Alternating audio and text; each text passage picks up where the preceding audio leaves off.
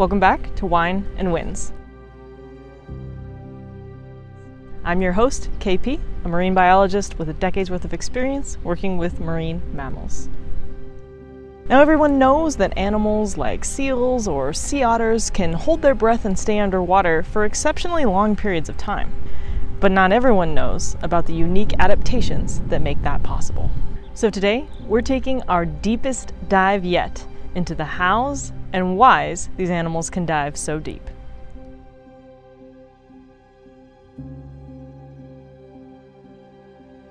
Don't forget to like, subscribe, and dive down to the descriptions below for ways that you can help support the channel.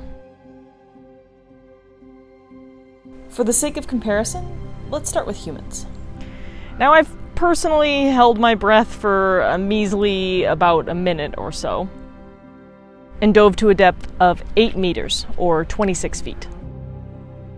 But that is nothing compared to the current no limits world record holder, Herbert Nitsch, who held his breath for four minutes while diving to a depth of 214 meters.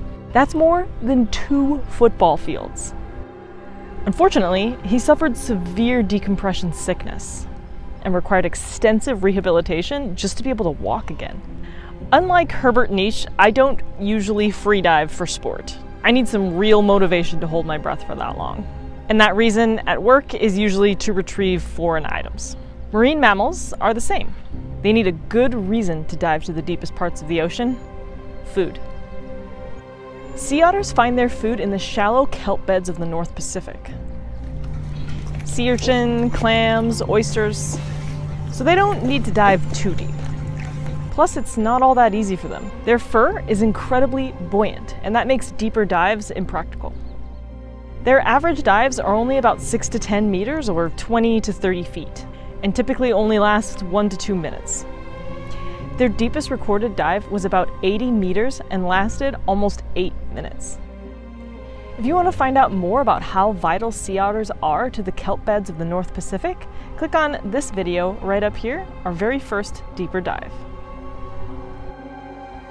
Harbor seals prey on fish like herring or salmon that typically hide in the refuge of deeper water in the daylight hours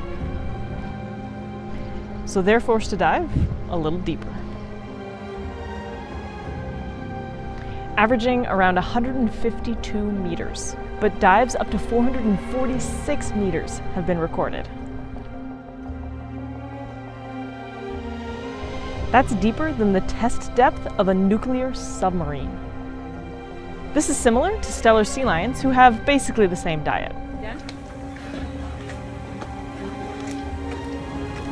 But their cousins, elephant seals, are some of the deepest diving animals on the planet. They mostly feed on benthic fish like rays and skates that live on the bottom of the ocean floor.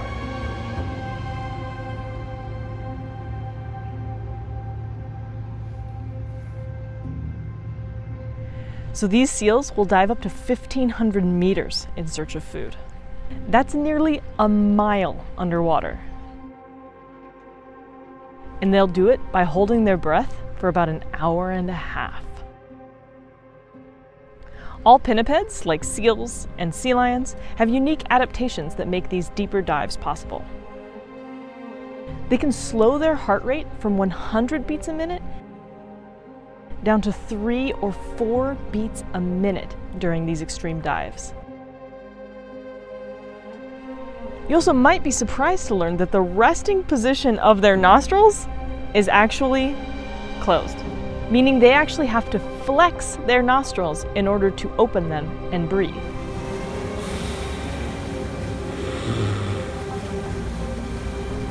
A pretty handy adaptation if you're doing a deep dive. Now, sea otters don't have this nostril adaptation, but fun bonus fact, sea otters' nostrils are actually heart-shaped.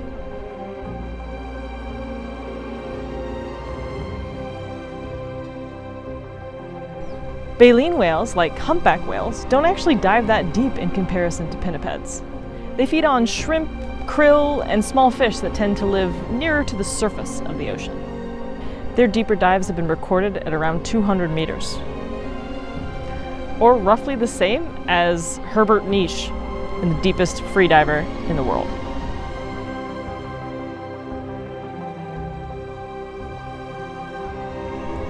But sperm whales and Cuvier's beaked whale are some of the deepest divers in the world. Sperm whales dive to about 1,000 meters and feed on things like giant squid and octopus.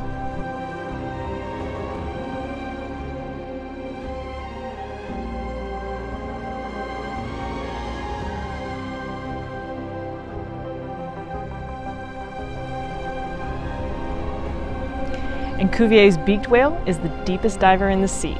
They've been recorded reaching depths of around 3,000 meters. That's almost two full miles underneath the surface of the ocean.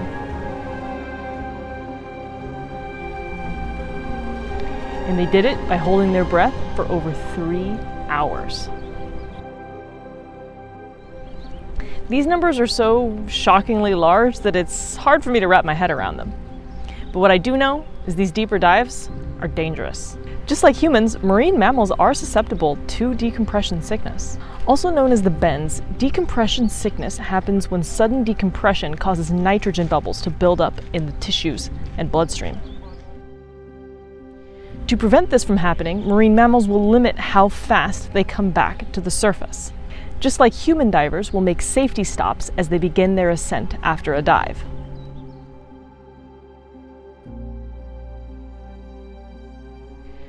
However, many stranded animals have been found to have symptoms related to decompression sickness. Biologists are working hard to pin down a cause that would make a marine mammal surface too quickly. And the evidence they've found so far points to noise pollution as the culprit. Sonar, seismic mapping, and shipping noise all could cause marine mammals to surface too rapidly. So here comes the call to action. What can you and I do to reduce noise pollution in the ocean. The first and easiest step is to shop local. This will reduce shipping traffic in general. The second is by raising awareness. A proposed plan by the U.S. Navy to increase sonar testing in the Puget Sound was met with strong opposition and led to a proposal to increase whale buffer zones. It also required the Navy to use real time whale alert systems like those required by the local ferries.